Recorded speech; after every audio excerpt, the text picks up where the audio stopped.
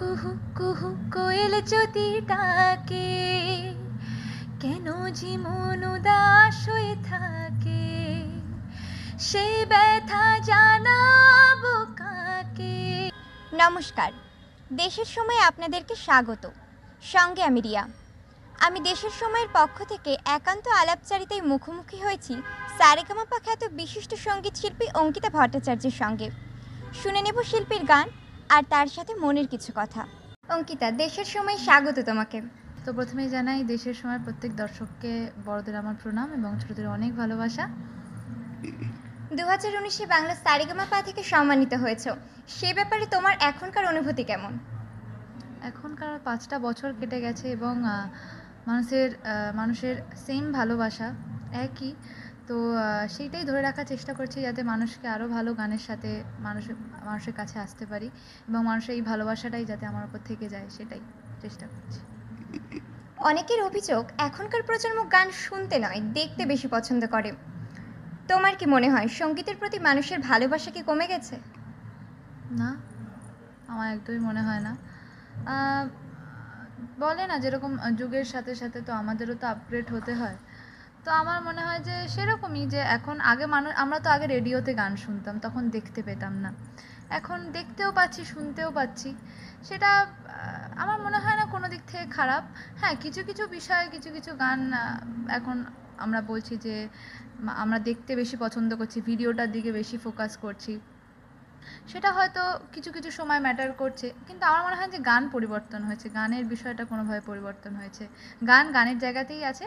শুধু সময়ের সাথে সাথে দিনগুলো পাল্টে গেছে এবং মানুষের মানুষ আপগ্রেড হয়েছে। আর কিছুই না আমার তো এটাই মনে হয়। এখন শোনা যায় সফটওয়্যারের মাধ্যমে গান রেকর্ড করা হচ্ছে বলে গান গাওয়া অনেক সোজা হয়ে গেছে। তার ফলে অনেক অভিনেতারা সুগায়ক হয়ে উঠেছেন। ফলে কি গায়কদের মধ্যে কঠিন প্রতিযোগিতা হচ্ছে? এটা নিয়ে কি বলব সেটা সত্যি আমি জানি না। গান গাইতে আমরা সবাই ভালোবাসি, গান গাইতে তো আমরা সবাই, আমাদের সবার ইচ্ছে হয়। প্রসেসরের মাধ্যমে আমাদের গলাটাই যদি মানে সেরকম ইয়ে কি বলব আর মানে এই কোশ্চেনটা ভীষণ সত্যি ভীষণ কঠিন একটা কোশ্চেন আমার কাছে। সফটওয়্যারের মাধ্যমে গান অবভিয়াসলি গাওয়া অনেকে গান গাইছে, ভালো লাগছে শুনতে। এবার এইগুলো না মানুষ to man to man vary করে। যে আমার আজকে সবার গান শুনতে পছন্দ। সে যে কোনো যদি অভিনেতা হয় বা অভিনেত্রী হয়, তার গানও শুনতে যেমন আমার পছন্দ হয়। এবং তিনি যদি আমরা লতাজি আশাজি, তো ইনা, ইনাদের তো আমরা গান শুনে আসছি। তো আমি বলি না, বিষয়গুলো মানুষ টু মানুষ ভ্যারি করে যে সেই তারা কীভাবে নিচ্ছে। আমার কাছে সব সব গান, সব প্রসেসরের গান সব ভালো গান আমার কাছে ভালো গান ভালো গান। সেটা কোন প্রসেসর থেকে বেরোচ্ছে বা কার গলা থেকে বেরোচ্ছে ম্যাটার করে না। ভালো গান ভালো গান। নতুন নতুন শো নিয়ে তুমি কতটা এক্সাইটেড নতুন নতুন শো নতুন নতুন শো নিয়ে নতুন নতুন কীরকম বলতে চাইছো? মানে তুমি কীরকম মানে এখন তুমি যেগুলো নিয়ে করছ ভবিষ্যতে যে অনুষ্ঠানগুলো করবে? হ্যাঁ বা সব কটা নিয়ে ভীষণ প্রত্যেকটা মঞ্চই আমার কাছে মানে একটা আমি এখনও যখন মঞ্চে পাঁচ বছর ধরে আমি মঞ্চ করছি বিভিন্ন মঞ্চে যাচ্ছি গান গাইছি এখনও সেই মঞ্চে ওঠার আগে আমার সেম টেনশন হয় সেম ভয় লাগে। তো আমার মনে হয় এটা থাকা ভালো প্রত্যেকটা মঞ্চের আগে এবং হ্যাঁ আগামী আমি প্রত্যেকটা শোয়ের জন্য ভীষণ এক্সাইটেড থাকি প্রত্যেকটা শোয়ের জন্য। এবার একটু ব্যক্তিগত প্রসঙ্গে আসা যাক। অবসর সময় কি করো? অবসর সময় গান নিয়ে থাকতে পছন্দ করি। তো অবভিয়াসলি আমি ডান্স করতে খুব পছন্দ করি। আমি জানি না আমার অনেক ইন্টারভিউতে আমি এটা বলেইছি। ডান্স করতে ভীষণ পছন্দ করি। আর অবসর সময় যদি সবার আমাদের বাড়ির পেট ঠিক থাকে তাহলে আমি অর্ডার করে খেতে খুব পছন্দ করি। থ্যাংক ইউ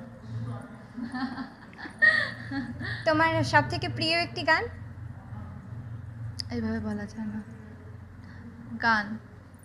প্রিয় নেই কোনো। কোনোভাবে প্রিয় আমার কোনো গান নেই সব গান আমার প্রিয় গান বিষয়টাই আমার প্রিয়। আচ্ছা তাহলে তোমার পছন্দের একটা গান দিয়ে আজকের আড্ডাটা শেষ করি। পছন্দের গান।